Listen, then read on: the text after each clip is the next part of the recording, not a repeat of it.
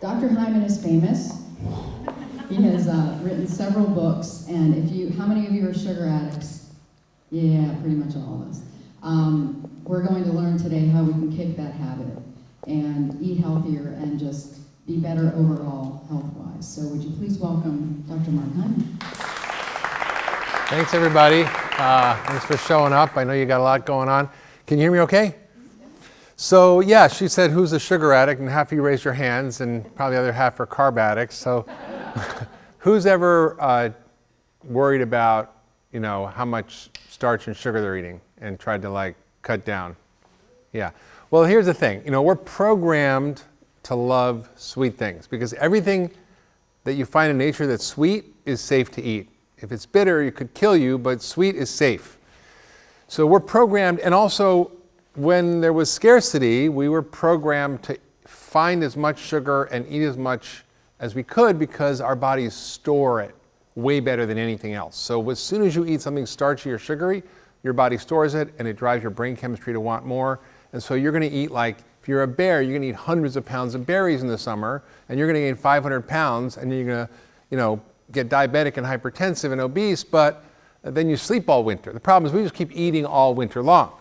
So, uh, what I want to do today is sort of take you through the science of sugar and sugar addiction and the biology of it, and how to use science, not willpower, to get healthy and fix your, your body. Because sugar is the biggest driver of almost every single major chronic disease. And when I say sugar, I also mean flour, which are pretty much the same thing in the body. In fact, flour is worse than sugar in terms of how it affects your body. Uh, and whether it's heart disease, cancer, diabetes, even dementia, they're calling it type 3 diabetes. So we have a problem. Uh, 70% of us are overweight, 40% of kids are overweight. I call this diabesity. This is this sort of spectrum of everything from a little bit of belly fat all the way to prediabetes to full blown type 2 diabetes. But anywhere along that spectrum, your health is compromised and you're in trouble.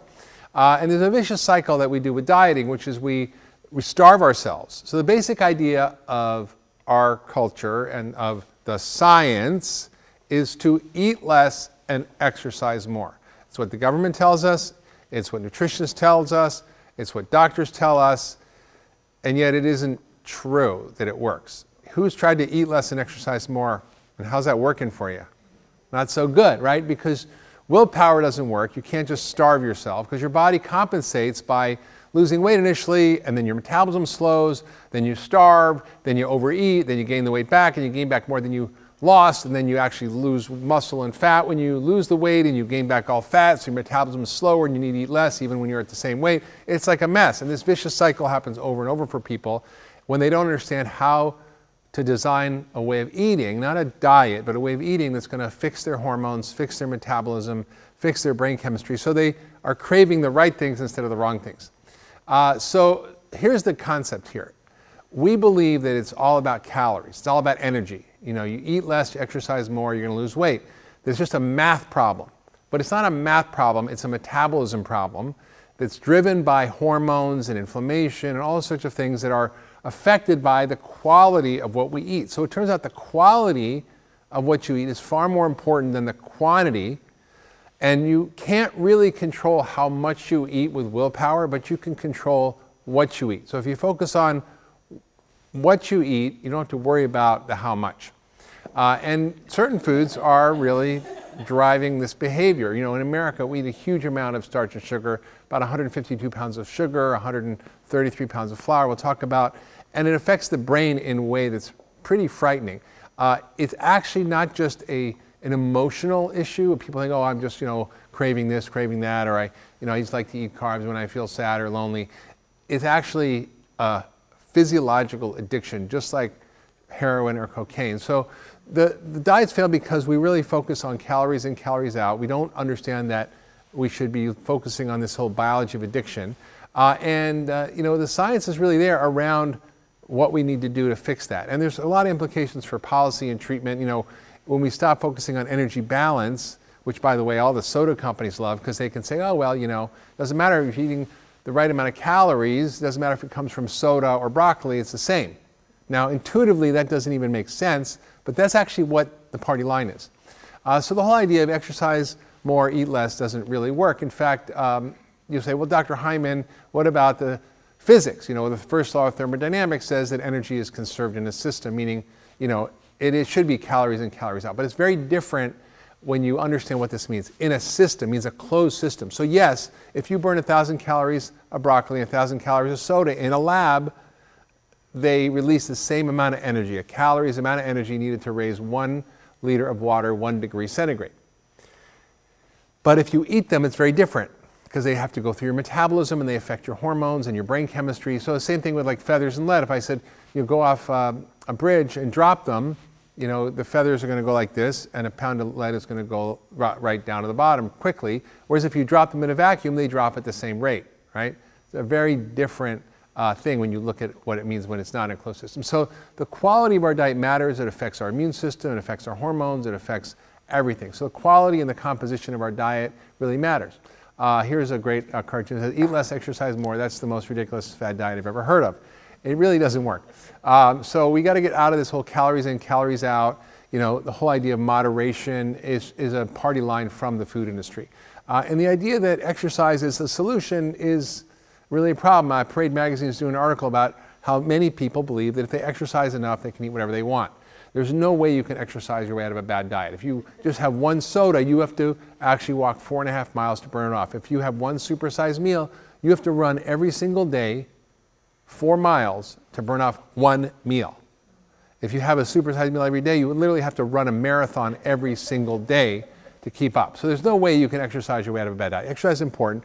And this book by Michael Moss called Salt, Sugar, and Fat detailed interviews with over 300 food industry experts, scientists, executives, former people, detailing how they deliberately design food to be addictive. The mouthfeel, the taste, the sugar, the salt. They create the bliss point of food. They create uh, heavy users by targeting you know, people who are already using and getting them to use more. They have craving experts who really design the food to be done in a certain way.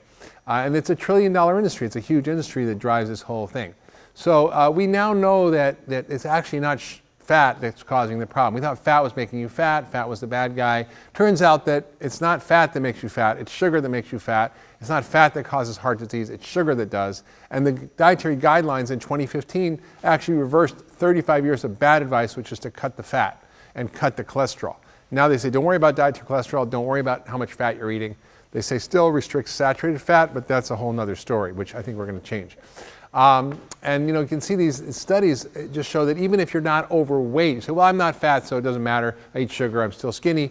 Sorry, it doesn't work like that. You get what we call skinny fat. That's when you look skinny, but you're actually fat on the inside, or TOFI, thin on the outside, fat on the inside. And it, and it has to do with all the where the organ fat is, and even a normal body weight. If you eat a lot of sugar, you're going to get more heart disease. Uh, so it's this massive amount. We eat about a three quarters of a pound of flour and sugar every single day for every man, woman, and child in America. Now, I'm not having that much. Some of you must be having a little more. Um, and it's frightening. You know, we, we, we have so much. There's 600,000 products on the market. 80% have added sugar. You know, 20% of our calories come from sugar-sweetened beverages, whether they're soda or coffee or energy drinks.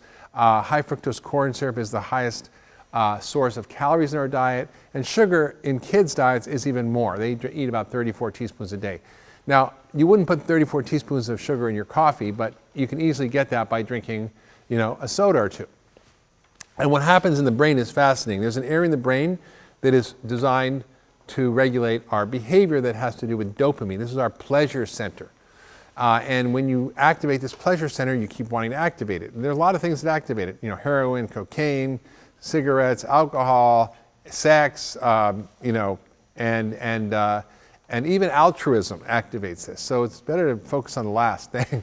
and, and, and what's interesting is if you look at people's brains, people who are overweight and who are cocaine addicts have the same area of their brain that are lit up.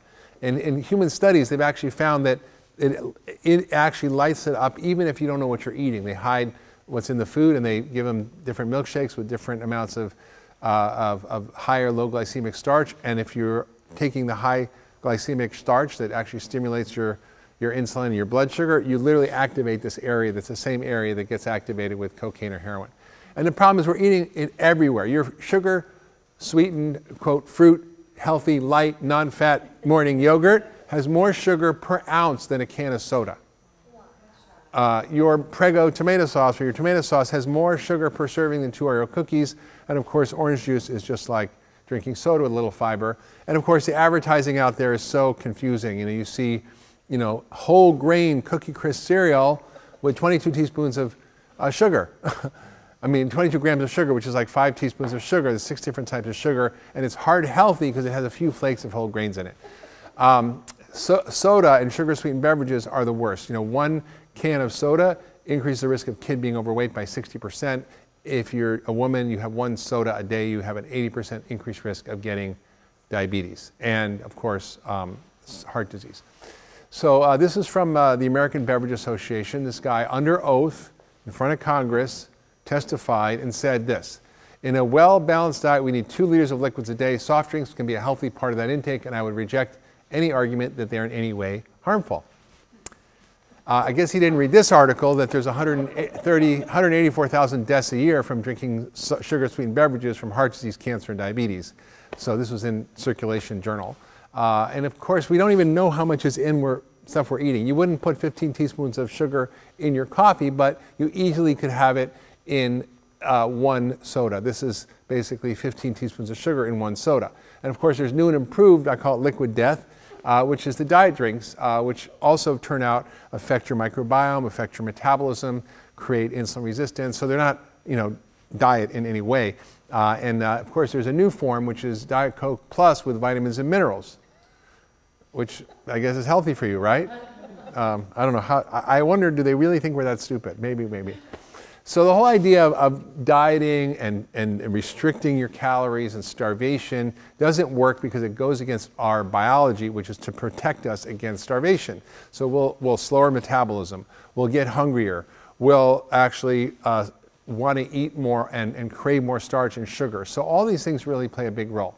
So how does the composition of our diet affect our hunger and metabolism? If you can, again, control what you eat, you don't have to worry about how much. Um, so this is actually a woman who um, went on a uh, liposuction treatment who was very overweight, who had a, a lot of inflammation, bad cholesterol, blood sugar issues, and they took out 40 pounds of fat with liposuction. The problem is, um, if you look at the CAT scan, you see the organs are all covered with fat, and that did not go away. The liver, the kidneys, the intestines, all covered in fat. That's called organ fat or visceral fat. And that's the dangerous fat that causes diabetes, heart disease, and everything else. So she didn't really have any benefit from any of her biomarkers or her blood tests or her blood pressure. Anything, nothing got better, even though she lost 40 pounds of fat, which was just under the skin. And there was a benefit. She did go from wearing a psychological benefit, maybe. She'd go from wearing a panty to a thong. So maybe there's a benefit. I don't know. I don't know. Um, so maybe liposuction is not all bad. Um, now, this, the question here is does being hungry make you overweight? Or does being overweight make you hungry? Because right now we believe that overeating makes you gain weight. Turns out that's not true. It turns out that when you start eating starch and sugar, it starts to put on these special fat cells in your stomach that make you hungry. So being overweight makes you hungry. And that is the opposite of what we were taught, which is that overeating makes you hungry. And so the, the, the whole visceral fat biology, which is fascinating, which is this whole um, dynamic environment inside your organs and your organ fat is actually regulating your immune system, regulating your brain chemistry, regulating your hormones, regulating your metabolism, all by these very smart fat cells. They're not just sitting there holding up your pants, they're actually dynamically interacting with your body all the time. And we have to learn how to talk to them so they uh, actually are smarter. Now, there's a food addiction scale, this is from Kelly Brownell, which talks about what are the behaviors that indicate you might be addicted to food. You consume certain foods if you're not hungry because of cravings. Anybody? Yeah, okay. A few of you. do you worry about cutting down on certain foods? You're trying to like, oh, I'm not going to eat this, I'm not going to eat that. Do you feel sluggish or fatigued from overeating? Do you have health or social problems that affect your work or school because of food issues and you keep eating that way? Do you spend time dealing with your negative feelings from overeating certain foods? You know, people are shaking their heads. Do you have withdrawal symptoms? If you don't eat it, you feel agitated and anxious when you cut down. Do you, do you have distress around your food? Do you have your ability to function in life being affected, whether it's because you're overweight or because of health issues, and you need more and more of the foods to reach, reach the same pleasure. So maybe one cookie would have done it, now it's uh, 10 cookies, right? So that's how what happens, and this is the biology of food addiction. Um, and there's a lot of studies on this. There's human studies, there's animal studies, there's studies of tolerance. They even give people Narcan, you know, which is like what they get for opioid overdose, and they give them Narcan, and it blocks the receptors in the brain that affect, are affected by sugar, and it stops people from having cravings. It's pretty interesting, and it can actually induce withdrawal symptoms. So when they studied cocaine and sugar in animal models, they give the rats uh, cocaine IV, and they can hit the lever as much as they want. They'll always switch to sugar. If they have unlimited access to cocaine, they'll always switch to sugar, and they'll work eight times harder to get the sugar than they will the cocaine. Um, and this is a you know, crazy study that, that sort of documents that. And when you actually, in animals, you give them Narcan, like it actually stimulates withdrawal, like heroin withdrawal. Um, rats always prefer the IV cocaine. Um, uh, the, the author said cocaine reward paled in comparison to the sweet reward. And that's crazy, right? But it's true. That's why we're eating three quarters of a pound. They even did studies, and these are horrible studies. They did studies where they would shock the rats and even while they were getting shocked, they would stay with the sugar. They wouldn't let the sugar go because they were so addicted to the sugar. Uh, so this is a real phenomena, and uh, this is a fascinating study I was mentioning before, looking at uh, the effect of different types of starch on the brain and, and, metabolism. So basically took a group of overweight guys, they fed them uh, one type of milkshake one day and a slightly different milkshake the next day. But the milkshakes were the same in terms of everything. They were the same protein, fat, carbs, fiber, taste, everything. The only difference was one of them had a, a secret ingredient, which was a sugar source or a, a, starch source that raised the blood sugar fast, and the other one didn't. And they couldn't tell which one they were eating. So even though they couldn't tell, the ones that had the ones that raised the blood sugar quickly actually had more hunger, their blood sugar went up, their cholesterol went up, and they also had tremendous activation of this area in the brain, which is like ground zero for addiction the nucleus accumbens. And this is, even though they didn't know what they were eating, it was different. It wasn't like, oh, this is the donut, I know I'm getting pleasure. They didn't know they were getting the special one with the, with the more pleasure thing in it, but that's what happens when you eat sugar. So you don't want to eat science uh, projects, you know, you, won't, you don't want to eat, I mean, there's 3,000 additives in our food, there's 600,000 industrial products, they're all different shape, size, and colors of the same ingredients, which are basically uh, flour, corn syrup, and soybean oil, all processed in different ways. Uh, it's, it's kind of a bad situation. So overeating doesn't cause you to gain weight. It's actually the effect of the hormonal changes. This is from the work of David Ludwig at Harvard. He wrote a book called Always Hungry, which is about this whole phenomenon. It's a New York Times article about it. Uh, and he did a fascinating study where he took groups of people and he did a crossover trial, which is like the best kind of study you can do. Basically, you take the same group of people, you feed them a diet, give them a little break, feed them another diet, see what happens. You measure everything. So they're, own, they're their own control.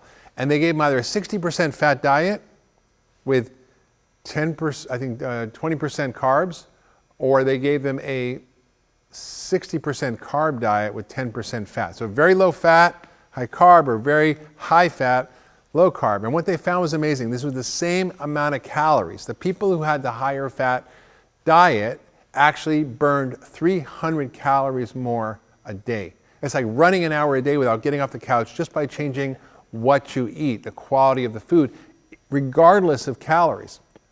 They also had better cholesterol, they had better insulin. And insulin is really the problem here. When you have starch or sugar, your insulin levels go shooting up.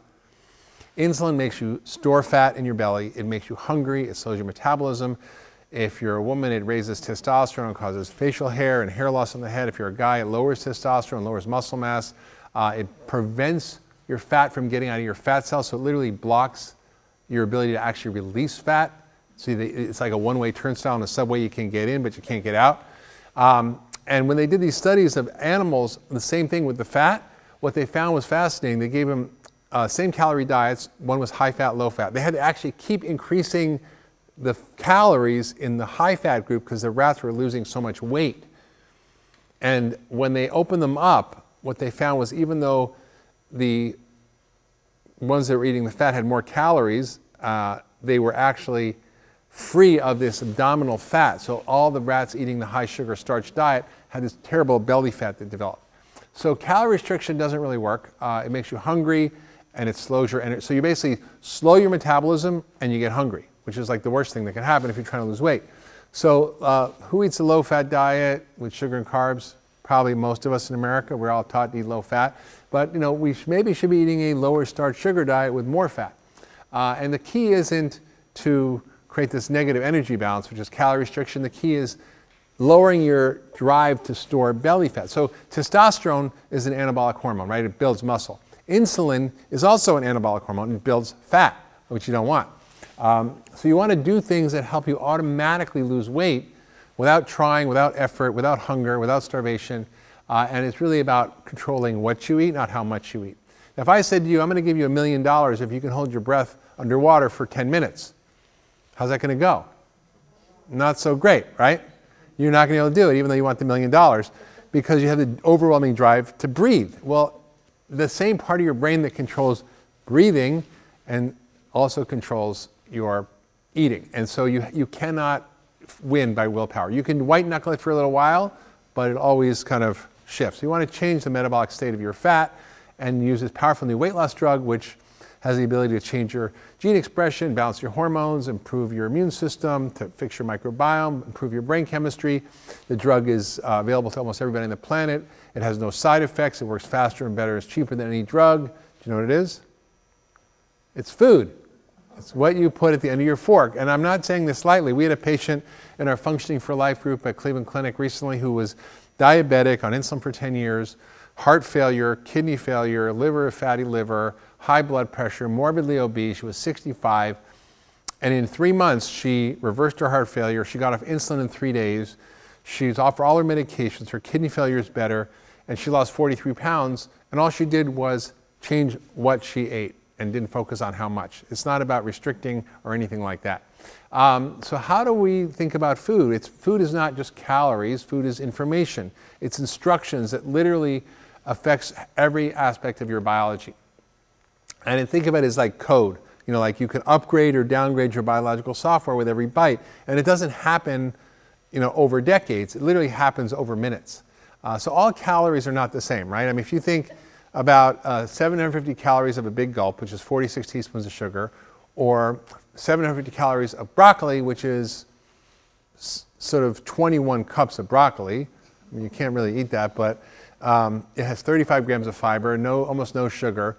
Are they the same? Well, according to every science group, American Diabetic Association, American Heart Association, Academy of Nutrition Dietetics, our government, the CDC, everybody says they're the same right? Calories in, calories out, moderation. This is just one of the biggest myths perpetrated on our population that's driving so much of our problem.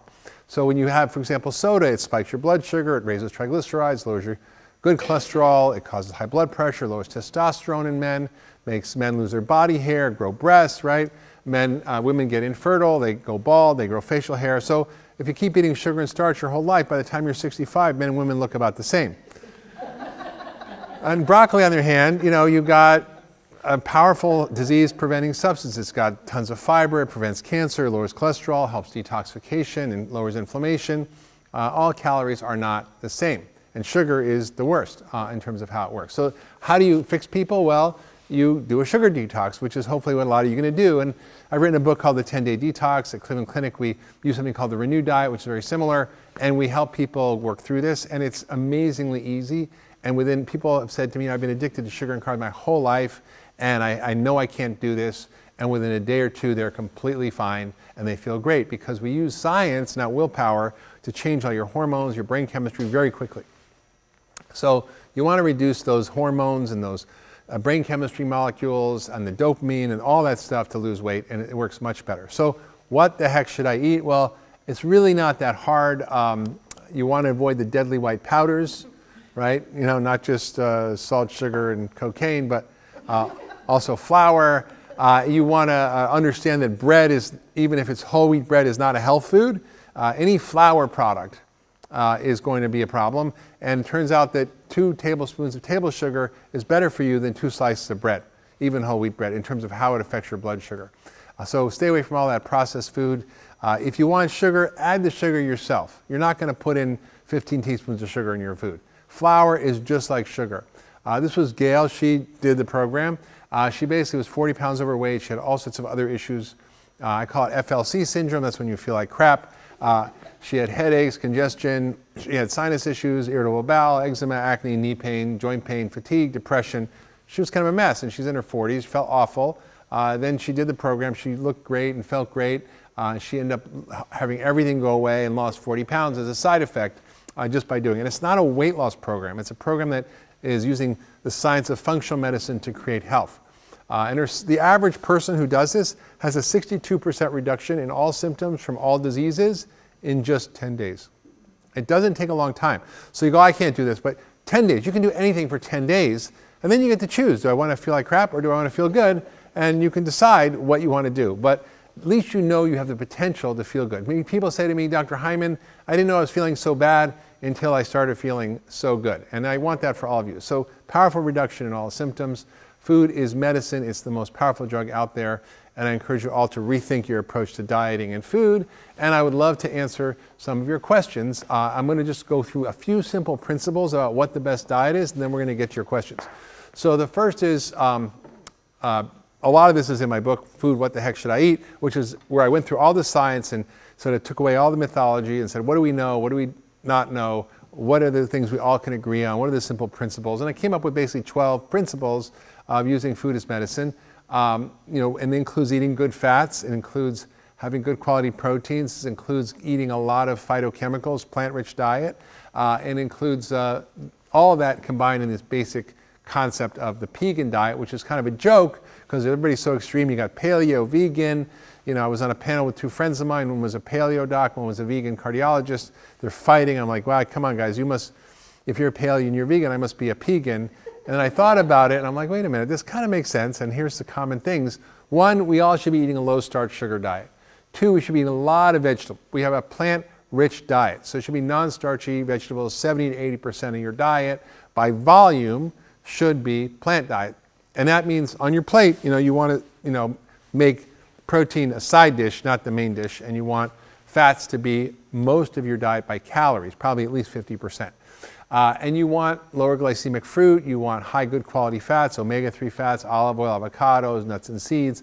There's debate about um, you know, saturated fat, but I think those are in moderation can be fine as well. You want to eat a lot, a lot of refined foods like refined oils. You want to stick with low dairy, particularly sheep and goat is better. You want to have organic, whole, fresh food, local. These are aspirational, obviously not always possible.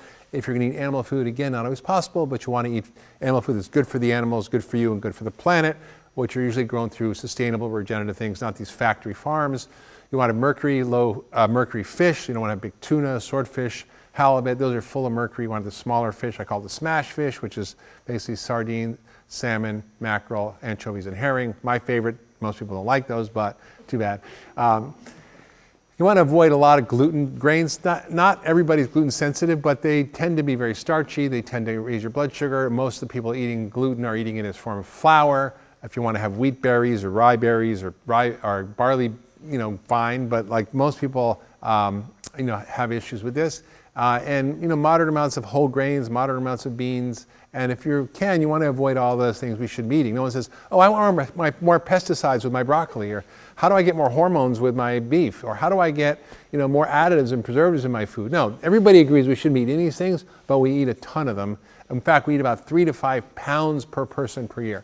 So these are the 12 principles. It's a pretty set of simple guiding principles that affects um, the ability to use food as medicine and actually have a wide range of diets. So that is my little speech about what to eat and why we're all sugar addicted, what to do about it, and how to use food as medicine. Dr. Hyman, we have a question off of Facebook. Jane wants to know, healthy food is so expensive when living on a really tight budget and it goes bad so quickly. What can she do? Yeah, so a couple of things. One, uh, there's a great guide from the Environmental Working Group where I'm on the board uh, called Good Food on a Tight Budget. So, how do you eat food that's good for you, good for your wallet, and good for the planet? And there, you know, you don't have to have a $70 grass-fed ribeye steak, right? There, there are ways of, you know, eating healthy, good food that's not processed and making yourself. In fact, studies have shown you can, you can roast a chicken and have a salad and a baked potato uh, and some veggies for far less for a family of four than you can go to a McDonald's and have you know, uh, happy meals for four people. So the, the, the, it takes a little bit of thought, a little bit of work. Also, frozen is fine. You can go to Costco, you can go to Trader Joe's, you can go get uh, to this bargain uh, big big box stores, and you can get uh, a lot of stuff that's really inexpensive. It's good quality. Frozen vegetables are often as good or better than uh, regular vegetables, especially frozen fruits. So there's ways to do it on a budget, and I've written a lot about that. A question from our audience. Um, what's the difference between this with vegetarians and vegans? So, uh, you know, the whole question of whether you should be a vegan or eat meat, uh, there's really three issues. One is moral, and if you're a Buddhist and you don't want to eat meat, I respect that, that's fine. Then there's environmental, and yes, animal factory farms are a huge contributor to climate change, and we shouldn't be eating any foods if we can from factory farms. And three is the health question. And I think there's a lot of controversy about that. I think there's a lot of ideology and belief, and not a lot of really rigorous thinking about the science. And when you look at the science, the science really doesn't hold up when, when you look at what meat as being a cause of, of disease. Uh, processed meat for sure, if you're having bacon all the time, that's probably not a good idea. But basically, eating animal foods as a part of your diet, not huge amounts, can be actually a helpful part of your diet. And they're very nutrient dense. Uh, if you are a vegan for various reasons or a vegetarian, you can do this. I have people who do vegan uh, higher fat diets. In fact, studies have shown that vegans who eat a high starch diet compared to vegans who eat a high fat diet actually uh, do much worse. They gain more weight, they have worse cholesterol, they have better, worse numbers than if they eat a high fat a vegan or vegetarian diet. So it's possible to do. Where does alcohol fit into this diet? with dinner. no, alcohol, uh, I think, you know, there's different kinds of alcohol. Like beer is a high carb alcohol, wine a little bit less, and spirits are certainly lower. And, uh, you know, it can be part of a healthful diet. It's just the quantity, right? So I think the problem in America is a little bit is good, a little more is better. Doesn't work like that. A little more, a little may be good, but then a little more may be a lot worse. So you have to be careful with the volume. Uh, thank you. Uh, in your opinion, what do you think, like brands that say that they're gluten free, how reliable? Like General Mills claims that all their cereals are gluten free, and I just really have a hard time. Yeah. I mean, oats may or may not be. So if they're oat, they often aren't, even if it says that it is. And there's been studies on that. I think, um, you know, there are a lot of things out there that say they're gluten free, like, you know, potato chips. I mean, soda's gluten free. I mean, so I think you have to be careful. When I see some health claim on a label, uh, it's a red flag for me that the food's bad for me. Like if somebody has to highlight how good something is, you know, it, it's kind of hysterical when you read, you know, on a bag of potato chips, gluten free, GMO free, this and that. I'm like, well, dairy free. I'm like, yeah, well, potato chips are dairy free. Like, this, they put all these health claims on the label that make it sound good, but it's actually bad for you. we, we talked about your pegan or vegan diet, um, and I was just wondering, why do you think it's not really in line with the pyramid that we show in schools? And Well- um, Yeah, well, the pyramid uh, went out of date a bit ago, um, and the pyramid was what drove our obesity epidemic. When the pyramid came out, which was eat 6 to 11 servings of bread, rice, and pasta a day, uh, and eat fats and oils only sparingly, we listened. When they said eat less meat, we listened. When they said eat more uh, refined oils and less saturated fat, we listened. When they said eat less butter, we listened. We ate more margarine. We did whatever the government told us to do as a population, and it's led us to have the worst diabetes, obesity, and chronic disease epidemic in the history of humanity. So it's been revised, uh, and the latest guidelines have been really changed. The latest guidelines from 2015 said, don't worry about fat, eat less starch and sugar, eat, you know, don't worry about dietary cholesterol, eat more plant foods. So there was a lot of that in there. Uh, I think it's changed a lot, and I think the, the next iteration will be even better. From Facebook, what is an example of a lower glycemic fruit?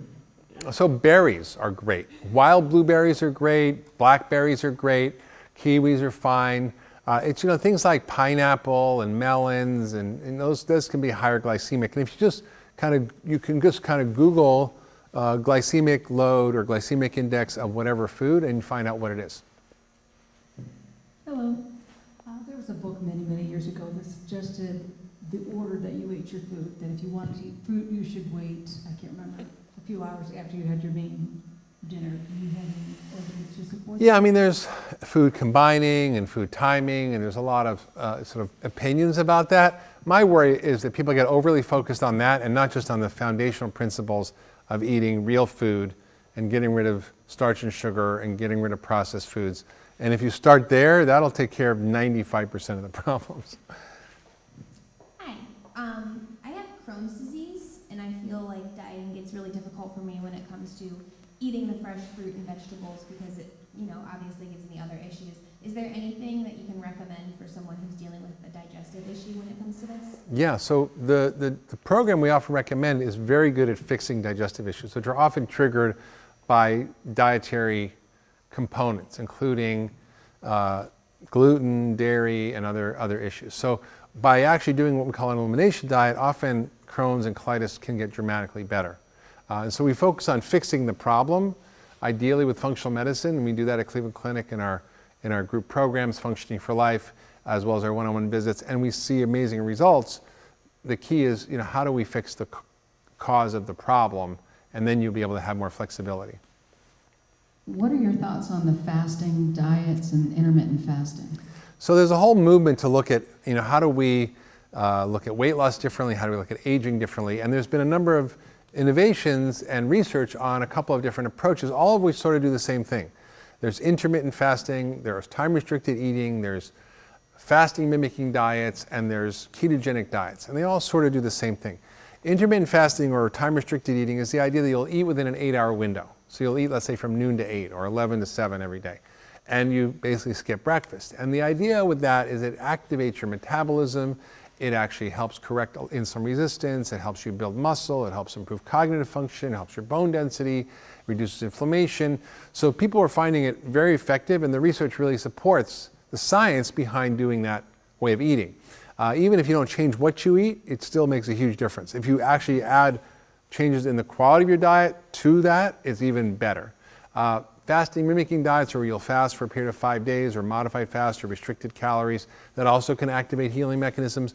Ketogenic diets are essentially 70 to 80% fat, very you know moderate protein, and very very low carbohydrate. And that what that does is it switches you from sugar burning to fat burning, and that means you literally have a different fuel source, which gives you more energy, more cognitive clarity, reduces body fat, improves muscle mass, helps with so many different things. It's not for everybody, but it's a very powerful diet for diabetes. We're seeing 60% of diabetes being reversed using ketogenic diets. A lot of people are asking about your books. Can you kind of give us the laundry list of books that, uh, Well, I've written 14 books. I'm not going to list them all, but the last few are really good. One is Food, What the Heck Should I Eat, which is about what the heck should I eat, which people ask me all the time. Uh, the one before that was called Eat Fat, Get Thin, about the science of fat. Uh, the one before that was a 10 day detox diet, which is about sugar addiction, uh, and that should get you going. um, what from, uh, from Facebook, what advice do you have for someone who has gastroparesis and is meant to, and has to avoid high fat, high fiber, and raw food? Again, you know, in general, because I can't give specific medical advice, um, for someone with gastroparesis, we think about what are the causes. So, what's driving it? Is it diabetes? Is it uh, some other issue? Is it infection? So, we often try to fix that. Uh, if you do have it, you can use digestive enzymes or other supports. There's things that help move things through your gut, uh, various herbs we can use, supplements. So, we sort of customize that approach. Thank you for being here. This information has been great. What advice would you give? I have hypothyroidism. Does this diet plan conflict with that, or would it be helpful? So, one in five women have low thyroid, and one in 10 men. And it's common. Um, and this can help it if it's triggered by some food related things. We know, for example, gluten can cause Hashimoto's. So, there's some ways of regulating it through diet. Uh, but no, it, there's no issue with eating this way. And this isn't a diet. Again, these are principles for living. Now, if you want to do a more sort of sugar detox, that's a more extreme version, which you would do for a period of time and then transition off of. Does the time you eat matter? Yeah, well, we're talking about intermittent fasting. So you don't want to eat within three hours before sleeping because you're going to store it, not burn it.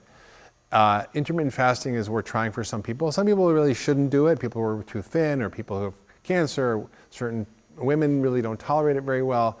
Uh, but, but you know, eating eating uh, in a time restricted area can be very effective, but doesn't have to be done for everybody. You can still manage without that. I think eating before bed is a bad idea. I know I have to. Anyone else have any questions? If the American diet is so bad, what countries, what diet is good, the best, and why is it the best? Uh, which countries have a better diet than us? Well, many countries traditionally did. Um, but now we're seeing uh, that we've created the worst diet on the planet and are exporting it to every country. Uh, and so 80% of the world's type 2 diabetics are in the developing world. We're seeing massive rates of obesity and diabetes, even in places like Haiti, uh, Africa, Asia. Uh, and so, uh, unfortunately, a lot of the traditional diets that were really helpful are, are actually now changing. But things like the Mediterranean diet, uh, Asian diets can be very helpful. Uh, you know, just eating real food is basically the bottom line. That's all people had before, only had real food. All right, anyone else? All right, Dr. Hyman, thank you so much. A lot of people have been asking, um, we will save this video, and uh, it will be accessible to anybody who wants to watch it online or share it on their Facebook page. Any final thoughts? I just think realize, uh, you know, like one of my patients said, Dr. Hyman, I didn't realize I was feeling so bad until I started feeling so good. That you're only a few days away from feeling good, and that by making a change in the way you're eating, if it's dramatic enough for a short period of time, can have profound effects. And I encourage everybody to try it. You can listen to me talk for a thousand hours, doesn't matter. Do it for 10 days. It's just 10 days. See what happens and learn how your body feels when you start to put in the right stuff and take out the bad stuff. Great advice, thank you so much. Thank you.